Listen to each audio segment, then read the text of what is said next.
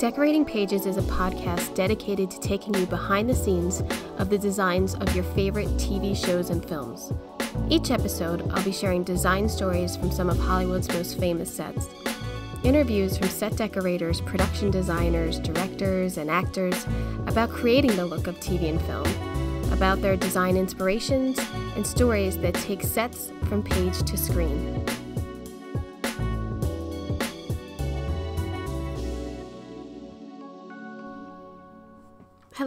And welcome to Decorating Pages. I'm your host, Kim Wannop. Again, I know, it's been a long time. I wasn't planning on taking this uh, last month uh, hiatus from the podcast, but I can't even tell you how busy my show, American Crime Story Impeachment, has been.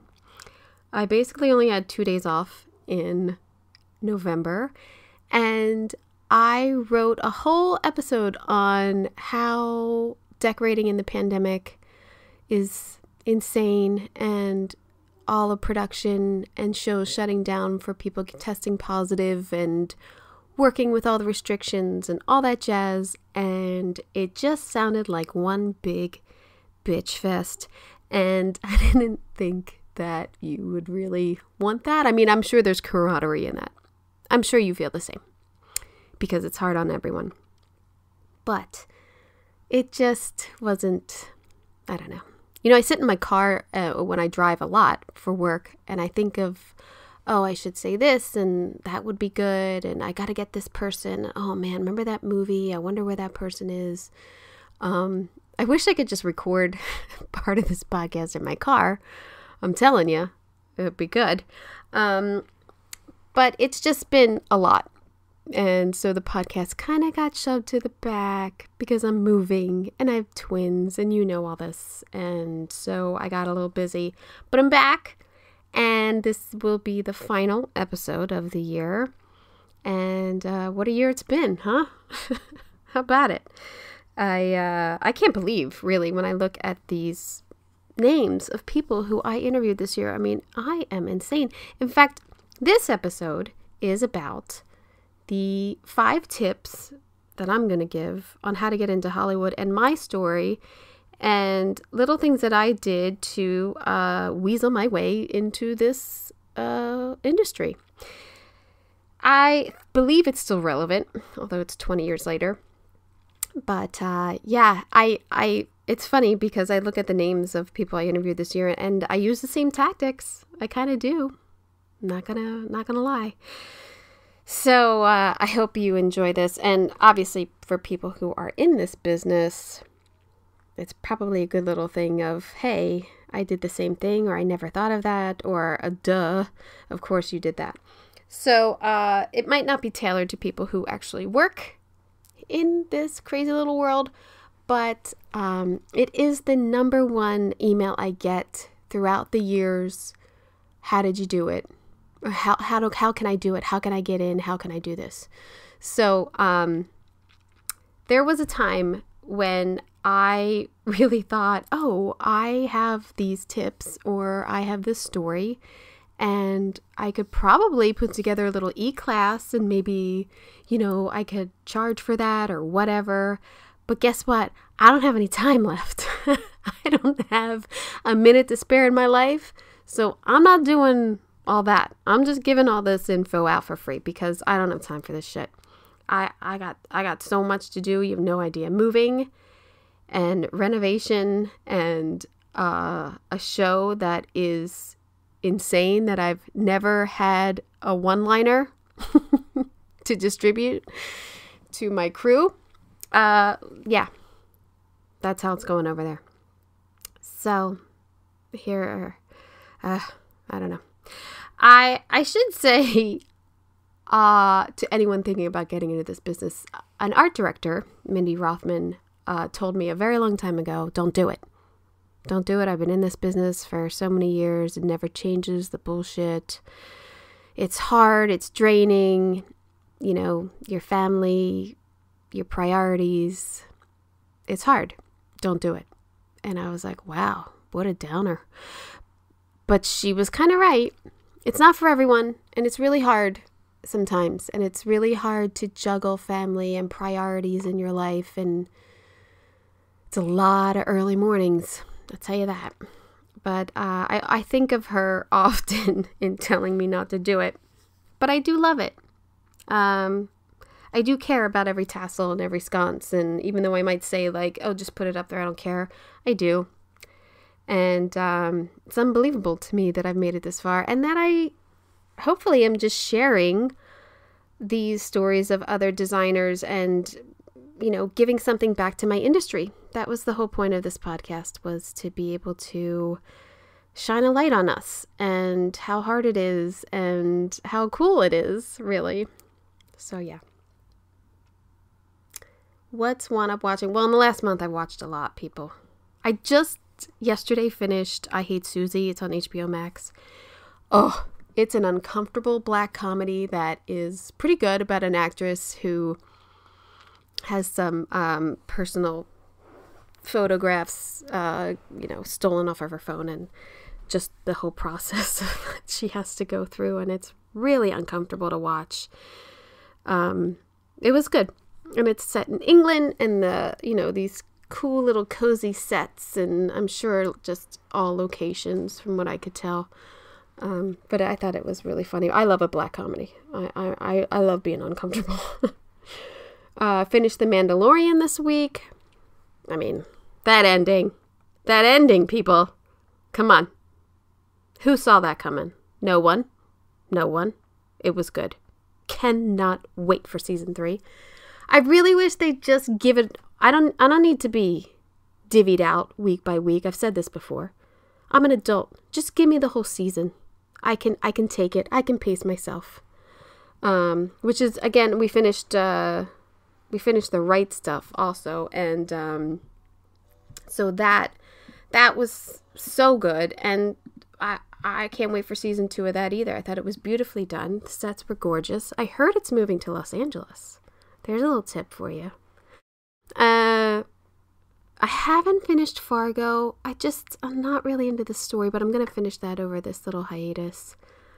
I zipped through the season of Big Mouth. I love Big Mouth. It's so raunchy. It's so, I don't know. I think it's so funny. It's uncomfortably funny sometimes because it's so perverse. It's so gross, but it's like, it makes me laugh. I don't care.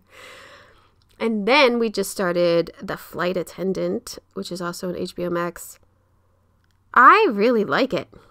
I like that this music is constantly going and your heartbeat's constantly up. I don't really like Kaley Cuoco, whatever. Um, the sets are beautiful. I would love to get killed in that hotel room. So, um, really, kudos to uh, to the design team on that, and uh, and also uh, shout out to the design team on The Undoing. That really captured like New York upper crust society. I loved Donald Sutherland's apartment. I just loved it. I loved The Undoing ending, eh, but I thought it was pretty good. So yeah, I've also, you know, I've got Housewives to zone out to. And if I could start a podcast about Housewives and just talk about that, I would. This season, the new Salt Lake City Housewives are so crazy. I can't. I, it's it's it's it's it's another level. I can't even. I, it's so good, so crazy. Uh, so yeah, that's that's my downtime watching all these great shows.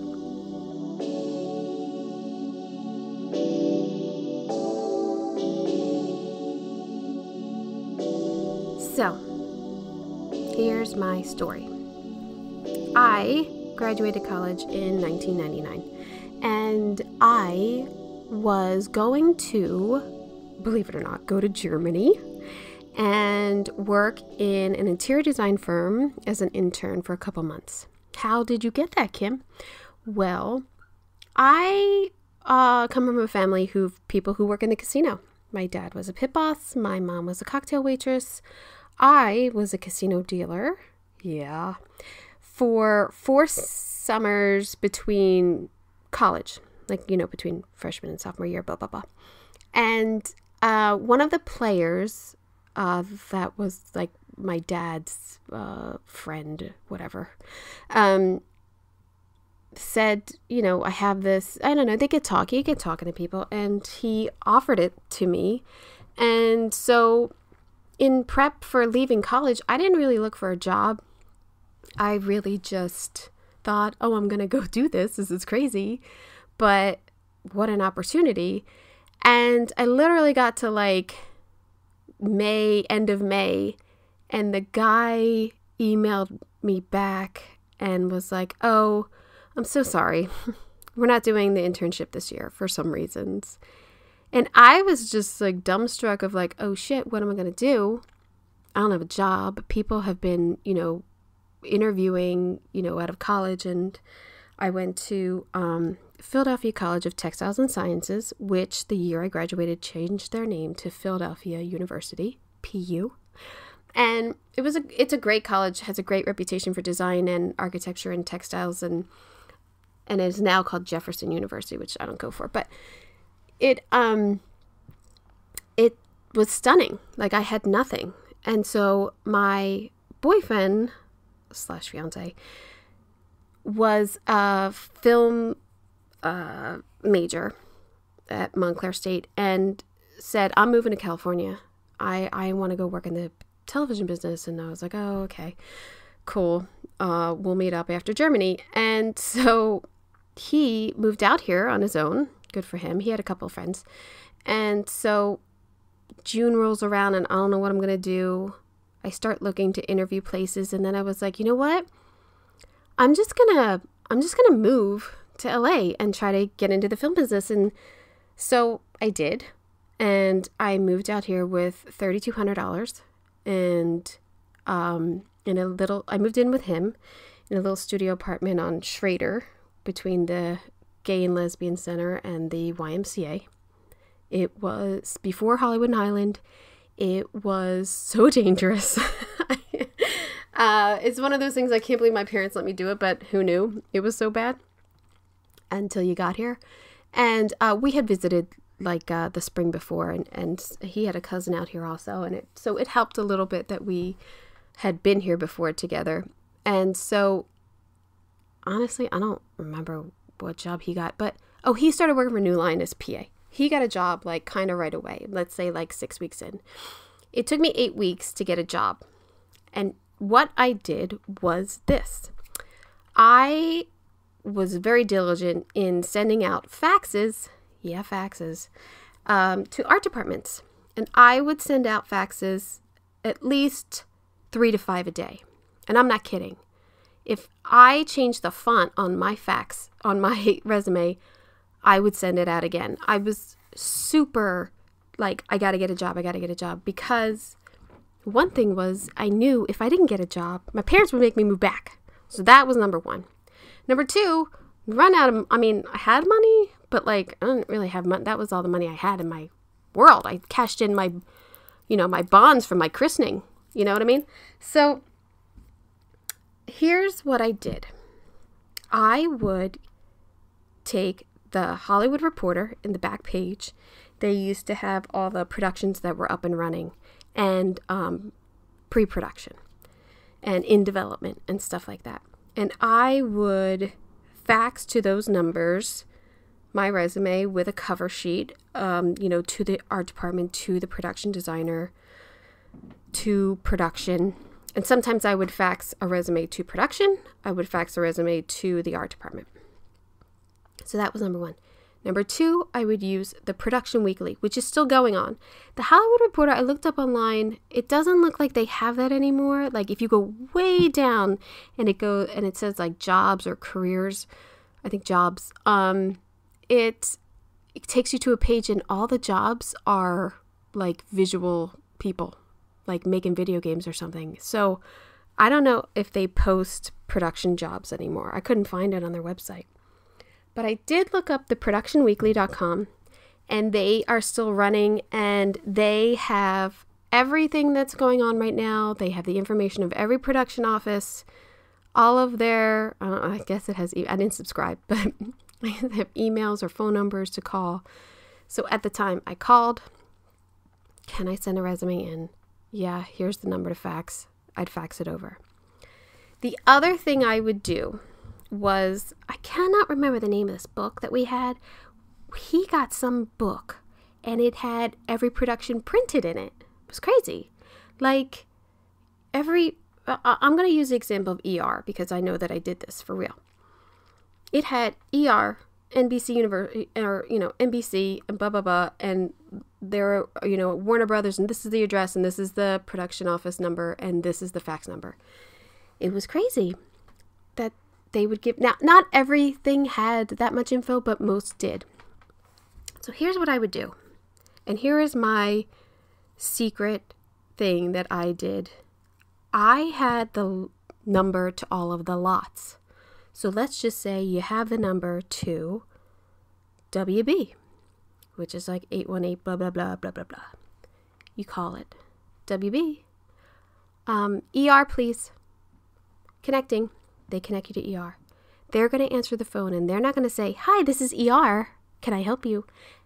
Every production is going to say, Production, and you say, Hi, can you connect me to the art department, please? Hold on. They connect you to the art department. Now you are in connection to the art department. That's what you want, if that's what you want. Or you could say props, or you could say whatever you want. They connect you to that department. When you get a hold of that coordinator, you then say, Hi, my name is Kim Wannop. I'm wondering if I could send a resume over. I'm looking um, for PA job or coordinator. Now, you don't want to say that because that's kind of like their job, whatever. And they'll say, Oh, we're already staffed up. And you say, I, oh, I'm sure you guys are, but if you ever get busy, could I please just pass my resume on to you or the designer? And then just be quiet. Just let them give you the fax number. Let them give you the email address. Let's update this for you to send your information over. Because here's the thing they might be staffed up. I'm staffed up right now. But I also have someone who's leaving in my department and I got to find someone to replace them. Have I looked in a drawer of resumes? Kinda. Have I looked at like, oh, somebody emailed me uh, recently about needing a PA job and then that? Yes. So do it. Just any way you can. Get your email, get your resume to the art department coordinator or the set decorator, the production designer, the art director. Get it to anyone. If you know someone's name working on that, ask to be connected to them. Why not? We'll take a call. Somebody's gonna the balls of someone to call me at the production office? Cool man. Kudos to you. I'll take your call. So that's really how i got into a job honestly. Um, one of the first things i interviewed for was the show angel. And i got the interview. I went to paramount got interviewed in one of the bungalows like i was so like oh my god i'm on the lot I didn't get the job because I didn't have any experience. Okay, well, I can't get experience until you hire me. Um, in the hundreds of resumes I sent out, I sent a resume to like kid like Saturday morning kids shows and I got a call. I interviewed there. It was it's now the Netflix lot um, over off of Highland and Bronson. And I went for the interview and they were like, you know, you don't know anything. And I was like, I know I don't know anything, but I can do everything. I can do it. I know I can do it. And the greatest thing about this pee wee little shit show that I got a job on was I got the opportunity not even to work in the art department, but I was the office PA and and a set PA because it was such a small show. We did both. There was three PAs. I was the bottom. I was the last tier. I had to be in at 7 a.m. with bagels. Okay? I had to go pick up at Noah's on, on Larchmont. With bagels, be in at 7, even the writer, nobody came in till 10. I don't know why I had to be in at 7. Answer phones, nobody's calling. And then I was like Friday's last one out. And I would have to wait till every the writers were done with their draft on Friday printed out, collated, whatever. Then I, this is the days of delivering scripts. I would be out delivering scripts till like one, two in the morning and throwing scripts over people's balconies, waiting for doors to open of apartment buildings that I couldn't get into, like driving up to uh, Brentwood to the executive producers, put it on his doorstep. I mean, I could do my route right now. I knew uh, the worst was like, oh, if you had to go to the director, he was all the way in Glendale. It was so unsafe. It was me, my Thomas Guide, and my Saturn. And it was, but it's how I learned the city. It's really how I learned uh, Los Angeles. So every job you have, everything you do, you're going to learn from it. You can think this is the shittiest show. This is just a joke. You're going to learn from that. You're going to learn what not to do, maybe. You're going to learn from every position you have. So, after that, you just start sending out more resumes or the show ends or you you meet other people and you just got to keep at it. So, this brings me to my top 5 tips of how to get into Hollywood. Number 1, be persistent. Keep at it. You got to send out those resumes. Look at what you know is crewing up on these trades. You know, in development might be a little too early, but the art department comes in early, so you never know. So send a resume anyway. I mean, people might be bringing in more people if it gets really busy. Just always try to get your information in there. That's all I can say. Be persistent. And uh, number two, always be networking. Join the SDSA. There's a ADG internship. The Television Academy has internships. FIDM has production design classes or AFI. You never know who you are going to be standing next to at a party that you will make a friend with or keep a contact with, and 10 years later, you're working on the same show. I'm telling you, it happens you're going to get this little cluster of friends when you first live here and go in all different directions. I mean, I had friends who went to be agents, I have friends who went to be DPs, I have friends who moved out and moved back and hated it. So you just never know down the line where you're to need, oh, that guy that I met, that one party or like at this event, he worked product placement. Let me hit him up. You never know. So just always be networking. Hi, my name is. Just do it. Just get out there. I'm telling you, you never know who's going to say, hey, yeah, I need a PA, or my friend needs a PA. They're just starting up this gig. It happens. I'm telling you. Number three, stalk. Stalk people. That's how I did it. I stalked Phil Tulin. I got a job with Phil Tulin. I stalked Paul Eads. I got a job with Paul Eads. I'm telling you, it worked. I've had people lightly stalk me, thank you very much. And it worked. I hired a couple of them. Some of them were creepy. Didn't hire you. No. I would say this pick three or five people that you love their work, that inspire you, and just start looking them up all our information's out there. Most of us have websites, Instagram accounts. DM people, Facebook them. I don't know. Ask them questions uh, about specific shows. Um, and then, you know, explain your situation and be bold. Ask, hey, if you ever had time, I would love to just chat with you. Um, I'd really like to get your perspective on, like, you know, trying to get into this business or what I can improve on to get my skills up there to be hired. Um, and, you know, I was, I even said, like, can I see your sets? People want to show their shit off. Go see their sets if they have time. I mean, COVID and everything, that puts a real damper on it, but you never know. Uh, yeah, you probably can't see sets right now. That was probably, that's not a good tip. But eventually, you could. Um, my next tip, I would say accept any job. Take a PA on set. Take a PA in the office because every position you get, you will learn from and learn who does what and why. and that is invaluable. You start as an art director, you're not going to know what this grip, the rigging grip does. You got to learn what people do so that in this whole, you know, spokes of a wheel, you know how the wheel turns. You got to have a grasp on what your department does and what other departments do and respect them and call them out on shit too. That's not me. That this is your responsibility. This is my responsibility. Get off my sack. These are things I say all the time.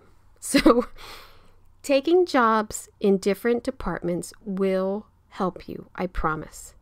And I'm telling you this right now, I separated sour balls. This producer, he didn't like purple sour balls. I had to separate them out of a bowl, so God forbid he wouldn't put his hand in and grab a purple sour ball. I am not lying. Same thing, Hershey Miniatures. He only wanted special dark. Okay. Uh, whatever. It was a job. I did it. I've picked up dry cleaning. I've picked up dog shit. I've done everything. Don't be too high on your horse. We all started here, and I'm telling you, you gotta start at the bottom so that you can learn. It sucks. We all did it. Get over it. We all did it. And the people who didn't do it, you'll see. You'll see the people who didn't do it. I mean, uh, you have to take these assistant jobs to learn the ins and outs of the departments. You got to learn script dis- distribution. You got to learn like who get what who gets what drawings in the art department. Ask to sit in on a production meeting or, or you know be be in the art department meetings. Just accept any job and grow from it. I would say this. PA if you're on a P, if you're in a show I would say a year or like one season, two tops, you got to move up You got to usually move out to move up. You got to go to another show. It's very hard to promote within. Now, it might be a little easier with the industry being so busy, and now we need an assistant art director, and now I need a buyer. But you still got a whole union and all that to go through, so you know, that's that's hard. Okay, last tip. Fake it till you make it. Do you know how many times I have said, uh huh, sure, cool, yeah, yeah, I got that, yeah, no problem. And then I turn around and look it up, or have to look in the script, or like frantically call a buyer, of like, oh my God, I forgot that they need a coffee setup. I mean, just fake it till you make it because people want to work with confident and competent people. I cannot stress that enough. I want to be able to turn to my PA and tell them to look up something and not see fear. Fear, once I see fear, I'm out. Uh, uh, that's why I took so long to find someone to be with in my life. Fear, I'm out. Be resourceful. Be able to problem solve. Be able to figure it out. I'm telling you, it's invaluable. If I'm asking somebody to do something, it's because I have a million other things to do. Otherwise, I do it myself. So, feeling confident that it will get done helps my whole process. Be self sufficient, be a self starter. I'm telling you, it will get you rehired. Confidence and competence. you will be surprised how many people you come across in this business, and they're neither. Yeah, shocking. I have always been absolutely floored of how many people fail up in this business. It's not funny. Uh, how are they higher and making more money than me? They're idiots. And I hate to say it, but you know, there's situations which make me come to that conclusion. So, let's recap a little bit. Be persistent. Always be networking. Stalk lightly stalk. Let's uh let's put lightly in front of that. Lightly stalk. Accept any job and fake it till you make it. And my little phone trick. I feel like that I mean that's how I got jobs. So or that's at least how I got my resume out there. Um, so I hope this helps. Um, I hope you get jobs. I hope to work with you one day. How about that? Um, yeah, good luck with that. I have some interviews lined up in the next week while I'm off. I um, hesitate to say who they're with because you never know. And then I hate to like promo something and then it doesn't happen. And it's happened before and I feel bad. But the Art Directors Guild nominations are coming up, so hopefully I'll be chatting with some of those nominees. Uh, I hope you got an earful this year. Thank you so much for listening in this surreal 2020. Um, I've been completely inspired um, and rejuvenated, I would say, by the people that I have gotten to interview this year, and I hope you have too. Um, here's hoping to a better 2021. So, Happy New Year! Stay safe and stay healthy. Float into the new year on a Stogie Floaty. Available now on Etsy and stogiefloaty.com. Welcome to Pro Tips for the Pros, brought to you by Floor and Decor Bailey's Crossroads. In this series, we'll explore essential advice for professional contractors to deliver outstanding renovation results. Let's dive in. Before starting any renovation project, take the time to plan meticulously. Assess the customer's needs, budget, and timeline to ensure a smooth and successful renovation process. Thank you for joining us for this pro tip on planning thorough renovations. Stay tuned for more expert advice brought to you by Floor and Decor Bailey's Crossroads. A lot of people tolerate ordinary. Ordinary bathrooms, kitchens, entryways. Well, not on your watch. If you're a pro, you've got a new partner in town Floor and Decor. From tile to wood to stone, Floor and Decor has more styles and job lot quantities of Schluter, Mapei, Laticrete, and other brands pros trust. Come see a whole new way to wow with Floor and Decor. Coming soon to Bailey's Crossroads.